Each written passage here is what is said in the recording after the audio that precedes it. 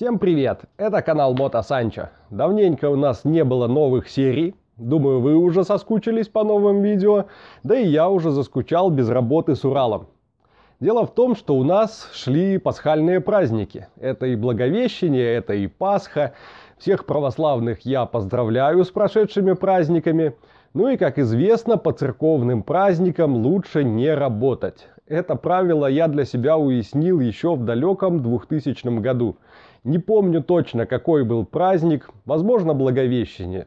Суть в том, что была весна, было тепло, я занимался активно сборкой именно этого Урала. Он тогда был одиночка, я его собирал после покраски. Поставил щиток, поставил бак, двигатель уже в раме, первый запуск, все удачно получилось, все здорово. Ну и раз двигатель работает, естественно, захотелось немножко прокатиться. И я стартовал вот от гаража, и до ворот у меня здесь буквально метров 30, можно немножко разогнаться. И в тот момент, когда уже подъезжал к воротам, нажал на задний тормоз и понял, что забыл подключить тягу заднего тормоза. В результате помял передний щиток свежепокрашенный, свернул куда-то на бок руль, лбом чуть не протаранил ворота, и вот с тех пор я понял, что лучше на церковные праздники гаечные ключи в руки вообще не брать. А это стало в этом году замечательным поводом отдохнуть, посвятить время семье. Вчера мы с сыном ходили гулять в парк, по набережной здорово прошлись, посетили все детские площадки там в ближайшем радиусе. А вечером выбрались с женой в кинотеатр, тоже замечательно провели время. В общем, я отдохнул и сейчас полон сил, готов приступать к работе. Но прежде чем мы начнем э, по делу сегодня разговаривать, давайте отвечу на несколько вопросов по предыдущим видео. Во-первых, очень много было вопросов по э, крышкам, по накладкам. Где купить, где достать. Точно так же, как и защита руля. Не именно это, а которая оригинальная ураловская, которая всем больше всего понравилась. Так вот, недавно мне посоветовали э, хороший интернет-магазин, такую торговую площадку ВКонтакте, которая называется Opposite Market. Дело в том, что человек только-только начинает работать, я с ним пообщался, и сейчас старается наработать себе репутацию, наработать себе авторитет. Поэтому, во-первых, не задирает ценники, во-вторых, очень ответственно подходит к обработке всех заказов, к отправке, к упаковке. В общем, оппозит маркет, заходим в ВКонтакте, смотрим. Больше 100 товаров представлено в группе.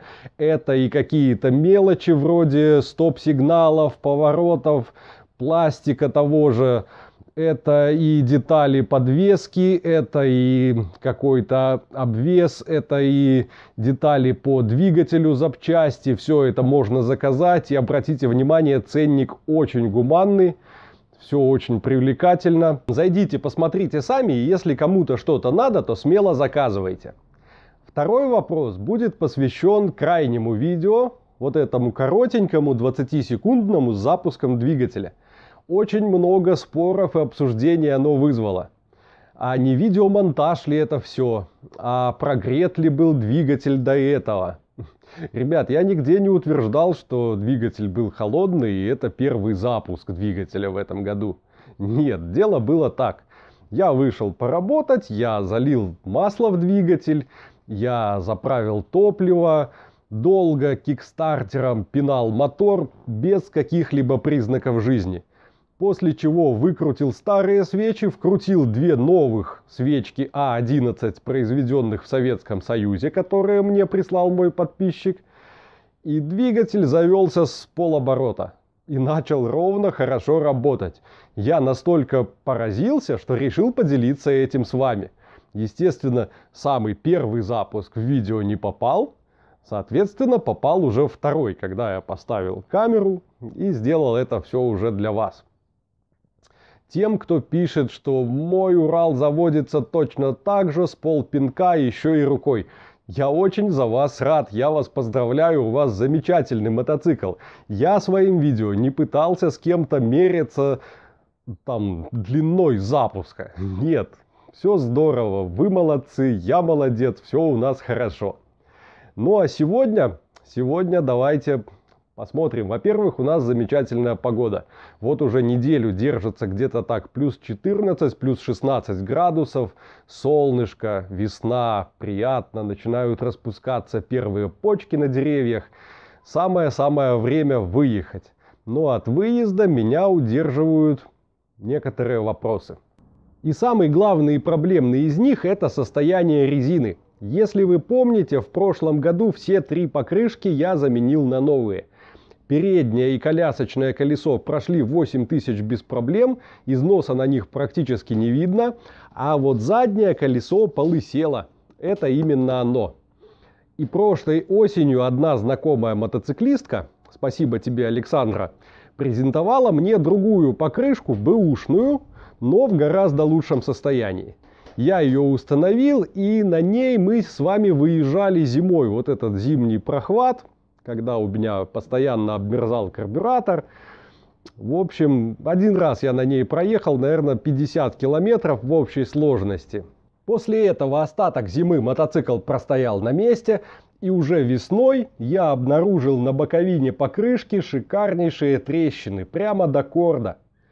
Фатальную роль здесь сыграл возраст самой покрышки, резина от времени пересохла и вся потрескалась. Для сравнения, на переднем колесе и на колесе коляски таких симптомов не наблюдается, и это уже меня радует.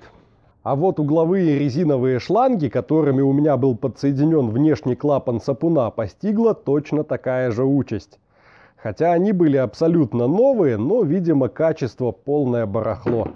Шланги эти я уже заменил на армированные текстильным кордом. Может быть не такие красивые, но уж точно более надежные. Заднюю покрышку нам тоже придется заменить на новую. И тут я в очередной раз поражаюсь нашим ценам. В Беларуси самый дешевый вариант, Петрошиновская модель И40, стоит 70 белорусских рублей.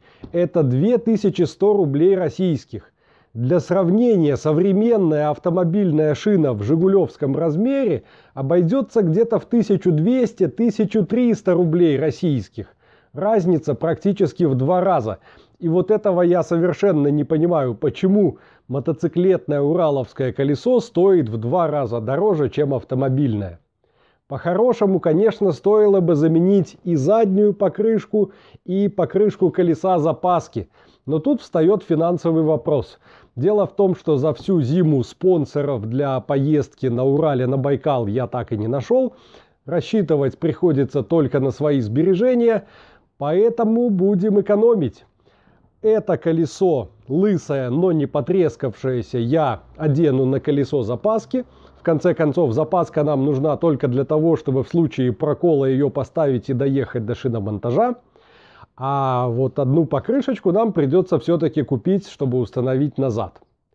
Ну и в принципе что-то я сегодня разболтался. Разговоров много, дела мало, поэтому давайте перейдем к работе. По планам продолжаем туристический обвес для Урала.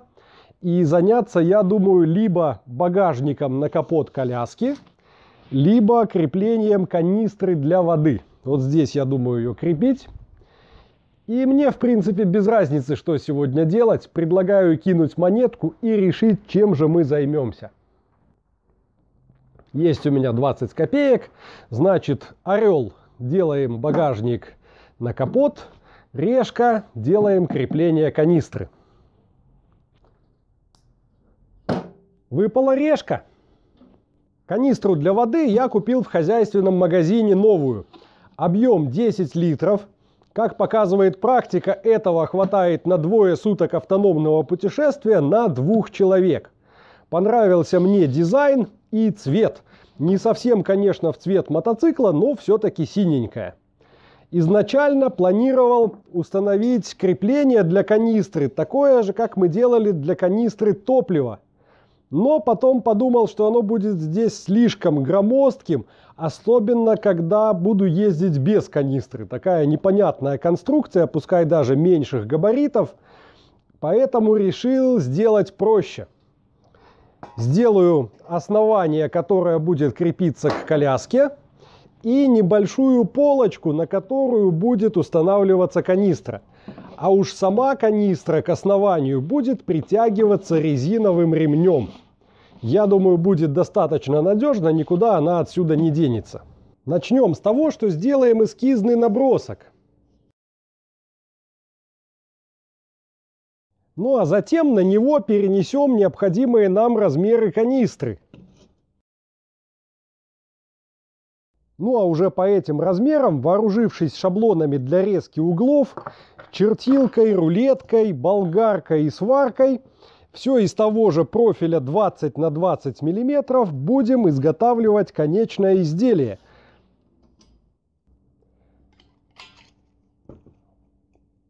По шаблону размечаем с двух сторон границы реза. И аккуратно вырезаем уголок.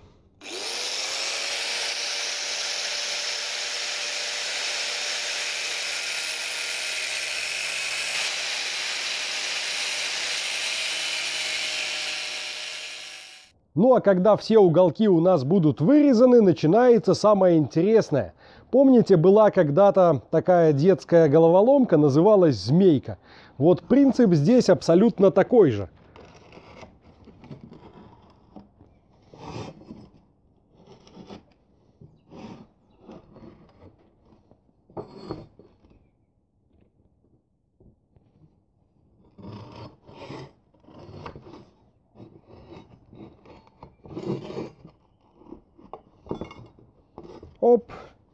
Сошлась. Остается немножко подровнять и зафиксировать сваркой все наши швы. Смотрю я на то, что у нас получается, и думаю, что запланированные две перемычки будут здесь явно лишними. Наверное, вместо двух я поставлю одну посередине.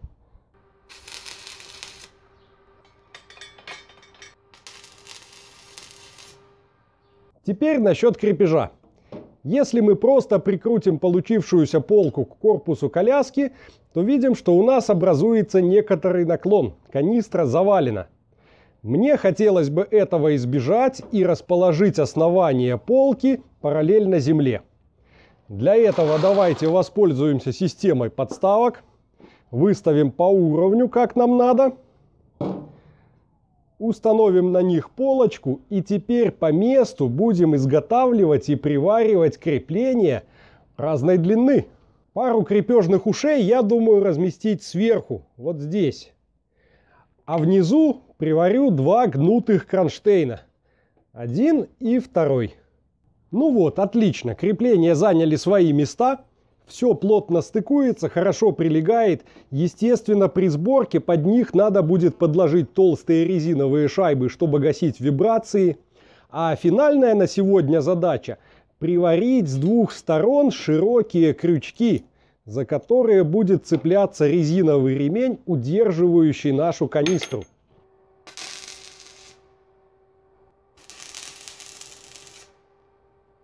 И с этой задачей мы с вами тоже справились. Все, полочка наша готова. Остается ее только покрасить. Если установим на нее канистру, то видим, что за канистрой весь крепеж скрывается, его вообще не видно. Будет виден только широкий черный резиновый ремень, который будет эту канистру на мотоцикле удерживать. Но изготовлением этого ремня мы займемся уже в другой раз. А сегодня у нас с вами есть еще одно дело. Распаковка очередной посылочки от подписчика. На этот раз посылка пришла из Нижегородской области от Игоря Шагалова. Давайте откроем и посмотрим, что там. Коробка относительно легкая, так что это точно не еще один коленвал.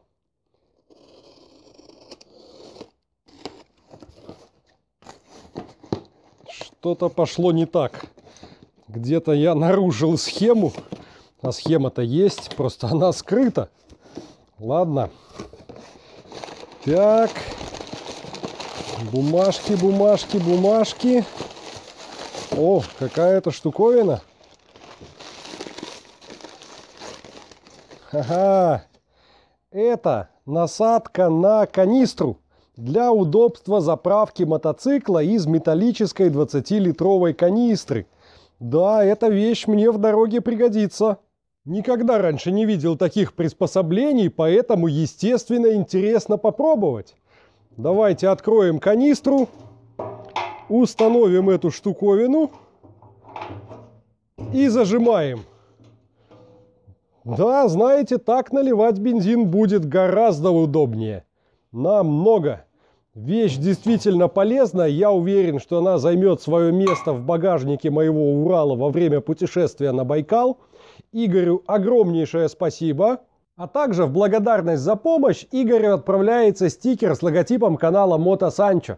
Ну и пора нам, пожалуй, приступить к розыгрышу. Я знаю, многие его уже ждут. А так как крайнее видео было у нас несколько неполноценным, слишком коротким и без всяких розыгрышей, то сегодня мы разыграем два стикера по двум крайним видео.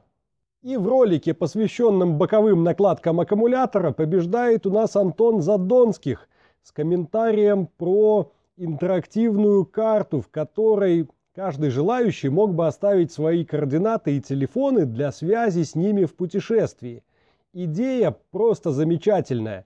Если кто-то знает, как ее технически реализовать, пишите, пожалуйста, в комментарии или в личку мне ВКонтакте, мы обязательно этим займемся.